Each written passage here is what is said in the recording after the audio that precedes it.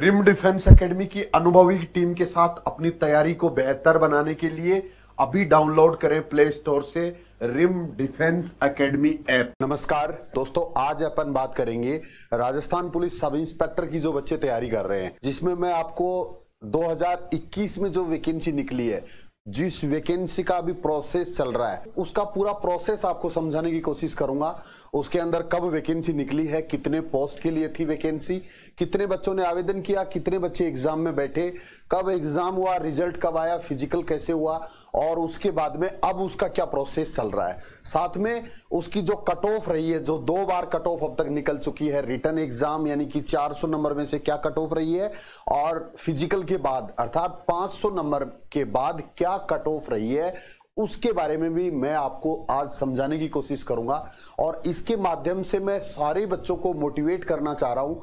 एक, अपनी प्लानिंग को और अच्छा करने की एक शिक्षा आपको देना चाह रहा हूँ, जिसमें ये वीडियो उन बच्चों के लिए भी बहुत इंपॉर्टेंट है, जो पिछली बार किसी भी वजह से कोई से भी लेवल में रह गए हैं। और जो बच्चे नया प्लान कर रहे हैं, नई वैकेंसी का जो इंतज़ार कर रहे हैं, उन बच्चों के लिए भी बहुत इंपॉर्टेंट होगा। और ये सारी चीज़ें इसलिए ज़रूरी है कि कहीं ना कहीं हम चलते चलते बीच में आलसी हो जाते हैं और हमें पढ़ाई के लिए एक जो ताकत चाहिए, एक जो पावर चाहिए, उसमें इस तरह की चीज़ें बहुत ज़रूरी हैं।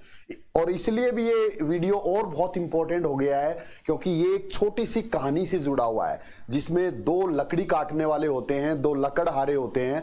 लकड़हारों को सौ सौ पेड़ काटने का काम दिया गया। एक लकड़हारे ने उसमें से लगातार पेड़ काटना शुरू किया और दूसरे लकड़हारे ने बीच बीच में अपनी कुलाड़ी की धार तेज की। जिसने लगातार लकड़ियाँ काटी, उसको पहला पेड़ काटने में जितना टाइम लगा, दूसरा पेड़ काटने में उससे ज़्यादा टाइम लगा। उसके बाद फिर तीसरा पेड़ काटने में उससे ज़्यादा टाइम लगा। और ऐसे करते करते लास्ट जब उसने सोवा पेड़ काटा तो उसको बहुत टाइम लग चुका था। उसके हाथों में छाले थे। क्यों? क्योंकि उसने हार्ड वर्क किया था। उसने स्मार्ट वर्क नहीं किया। दूसरे लकड़हारे ने प्रत्येक पेड़ काटने के बाद अपनी कुलाड़ी की धार तेज की। और उस वजह से उसको पहला पेड़ काटने में जितना टाइम लगा, दूसरा पेड़ काटने में उससे कम टाइम लगा, क्योंकि उसके पास एक एक्सपीरियंस था।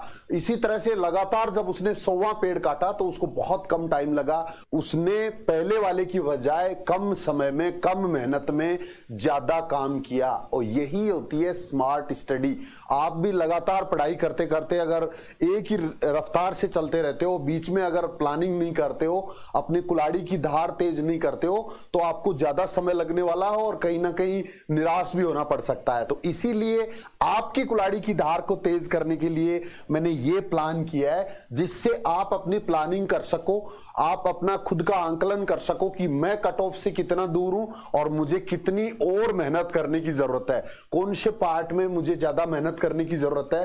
तो अपन डिटेल से एक बार देख लेते हैं, जिससे कि आपके दिमाग में पूरी चीज़ें क्लियर रहे कि कितना टाइम किस चीज़ में लगता है। तो सबसे पहले मैं आपको बता दूँ, वैकेंसी जो निकली थी, वो तीन फरवरी को निकली थी, तीन दो दो हज़ार इक्कीस को निकली और ये आठ पोस्ट के लिए थी।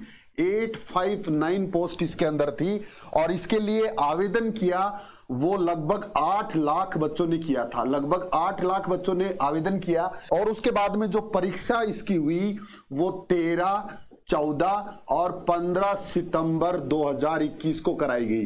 फरवरी में वैकेंसी निकली है। कोरोना उसके बाद में रहा। दो तीन महीने कोरोना ने प्रभावित किया और दो तीन महीने का टाइम ईडब्ल्यूएस कैटेगरी की वजह से लगा और उसके बाद में भी लगभग छह महीने के अंतराल में एग्ज़ाम करा ली गई। अर्थात अगर जब भी वैकेंसी निकलेगी तो उसके बाद में ज़्यादा टाइम एग्ज़ाम में नहीं लगे। ऐसा भी हो सकता है। तो जो बच्चे इंतज़ार कर रहे हैं वैकेंसी निकलने का, वो ध्यान दें इस चीज़ को कि वैकेंसी निकलने के बाद कई बार एग्ज़ाम जल्दी भी कराया जा सकता है। इसके बाद में इसमें जो उपस्थिति रही, जिन बच्चों ने आवेदन किया था, लगभग आठ लाख बच्चों ने आवेदन किया था और चार लाख बच्चों ने ही एग्ज़ाम में हिस्सा लिया। आधे बच्चे एग्ज़ाम में बैठते हैं, पिछले 2016 वाली वैकेंसी में भी सेम ऐसे ही हुआ है और इस बार भी आधे बच्चे बैठे आधे बच्चे इसलिए बैठते हैं कि जो जोश फॉर्म भरते टाइम होता है। जिस दिन वैकेंसी आती है, उस दिन जितना जोश होता है, अगले दिन से वो धीरे धीरे धीरे धीरे कम होना शुरू हो जाता है। और कईयों को तो जब एडमिट कार्ड आता है एग्ज़ाम का, उस समय पता चलता है कि मैंने भी फॉर्म अप्लाई किया था। तो ये स्थिति होती है, इस वजह से आधे बच्चे एग्ज़ाम देने के लिए जाते हैं, जिनकी तैयारी नहीं होती है, जो बीच में आलसी हो जाते हैं, वो बच्चे फिर एग्ज़ाम देने नहीं जाते हैं। इसके बाद में लिखित परीक्षा का जो परिणाम इसका डिक्लेयर हुआ, सितंबर में एग्ज़ाम लगा है और 24 दिसंबर को 24 बारह 2021 को इसका रिटर्न का रिज़ल्ट डिक्लेयर किया गया लगभग तीन महीने के बाद। और उस समय जिन बच्चों ने एग्ज़ाम पास किया, वो लगभग बीस हज़ार थे। बीस हज़ार बच्चों ने क्यों? क्योंकि जितनी वैकेंसी होती है, उनके बीस गुना बच्चों को रिटर्न एग्ज़ाम में पास किया जाता है फ़िज़िकल टेस्ट के लिए। इससे आपको पूरा प्रोसेस भी समझना है कि पहले क्या होता है, उसके बाद क्या होता है, उसके बाद क्या होता है। तो बीस हज़ार बच्चों ने बीस गुना बच्चों को लगभग पास किया गया और ये ज़्यादा संख्या इसलिए रही, आठ सौ उनसठ के अठारह ही होने चाहिए थे लगभग, लेकिन दो हज़ार इसलिए होते हैं कि कैटेगरी में लास्ट नंबर पर जितने बच्चे पास होते हैं, हर कैटेगरी के अंदर उनको भी शामिल कर लिया जाता है फ़िज़िकल के लिए। के बाद फ़िज़िकल जो कराया गया, ये 12 दो से 12 फरवरी से और 18 फरवरी तक ये फ़िज़िकल करवाया गया 2022 को। इसके बाद में जो फ़िज़िकल का परिणाम आया, वो 11 अप्रैल को आया 11 चार 2022 को। और अब इसके लिए साक्षात्कार होना अभी ड्यू चल रहा है, बाकी चल रहा है। तो किसी भी भर्ती को कितना भी समय लग सकता है, ये चीज़ भी आपको इससे सीखने को मिलेगी और इससे हमें कई चीज़ सीखने को मिल रही है। एक तो हमें पूरा प्रोसेस पता चल रहा है कि कितने कितने टाइम के बाद में क्या क्या होता है, जिससे हम अगली बार किसी से नहीं पूछे कि रिटर्न का रिज़ल्ट कितने दिनों में आता है एग्ज़ाम कितने दिन बाद में होती है, और उसके बाद में कितने बच्चे किस लेवल पे पास किए जाते हैं। पहले प्रोसेस वाला वीडियो मैंने इससे पहले बता दिया है, जिसमें मैंने हर चीज़ आपको समझाई है कि क्या क्या क्या क्वालिफिकेशन चाहिए? कौन कौन सी शारीरिक योग्यता आपको चाहिए? फ़िज़िकल में क्या होता है? रिटर्न एग्ज़ाम में क्या होता है? तो रिटर्न एग्ज़ाम के अंदर दो पेपर होते हैं 400 नंबर के। एक ही दिन में दोनों पेपर होते हैं। पहला पेपर हिंदी का है, दूसरा पेपर जीके एंड जीएस का है। तो उस 400 नंबर में से ये जो बीस हज़ार बच्चे पास हुए हैं, इनके कितने नंबर कैटेगरी वाइज थे, जिससे कि ये पास की श्रेणी में शामिल हुए? बीस हज़ार। चार लाख के अंदर से, यानी कि तीन लाख अस्सी हज़ार को पीछे छोड़ा इन बीस हज़ार ने, और उनकी कट ऑफ़ क्या थी? तो वो कैटेगरी वाइज आप देख लीजिए, जिससे कि आप अपना टारगेट कर सके कि मुझे कितना स्कोर करना है, और वो मुझे कौन से पेपर में कितना करना है। वैसे बता दू, आपको पास होने के लिए दोनों पेपर में 36 36 परसेंट न्यूनतम अंक होने चाहिए, और कुल मिला के दोनों में मिला के चालीस परसेंट मार्क्स होने चाहिए। और इसमें पाँच अंकों की सिर्फ़ छूट होती है प्रत्येक पेपर के अंदर एससी और एसटी कैटेगरी को। और एक्स सर्विसमैन के लिए इस बार 30 परसेंट तक पास किया गया है, शामिल किया गया है। अब देख लेते हैं अपन कट ऑफ़ लिखित परीक्षा की कट ऑफ़ जो 400 नंबर में से है, जिसमें नॉन टीएसपी और टीएसपी दोनों का अलग अलग रखा है मैंने।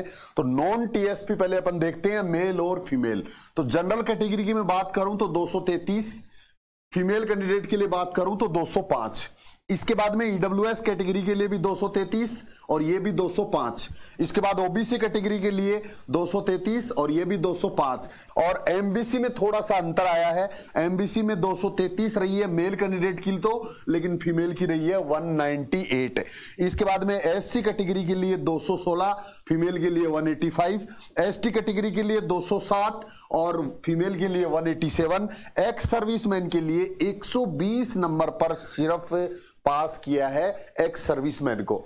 इसके बाद टीएसपी में बात करते हैं अपन तो जनरल कैटेगरी के लिए 168 और फीमेल के लिए 159 इसके बाद में ईडब्ल्यूएस ओबीसी और एमबीसी में टीएसपी में कोई नहीं है। इसके बाद में एससी कैटेगरी में मेल के लिए 168 और फीमेल उपलब्ध नहीं है। एसटी कैटेगरी में 155 और फीमेल के लिए भी 155 और एक्स सर्विसमैन के लिए जो टीएसपी कैटेगरी है, उसमें 144 कट ऑफ़ रही है। अब आप अंदाज़ा लगा दीजिए कि चार लाख बच्चों में से सिर्फ़ बीस हज़ार बच्चे वो हैं जिनके 57 परसेंट के आसपास नंबर रहे हैं। तो कितना कंपटीशन कम है जिसमें इतने आसान सिलेबस होता है, इतना आसान पेपर होता है 200 नंबर का तो जिसमें सिर्फ़ हिंदी का पेपर होता है। अब आप इस बात से अंदाज़ा लगा सकते हो कि बच्चे हैं वो कितनी तैयारी करते हैं, कितना सीरियसली लेते हैं एग्ज़ाम्स को। यानी एग्ज़ाम को बच्चे सीरियसली नहीं लेते हैं, सिर्फ़ तब सीरियस लेते हैं जब एग्ज़ाम की डेट कोई आती है। उससे पहले प्लानिंग नहीं करते हैं, पहले तैयारी नहीं करते हैं।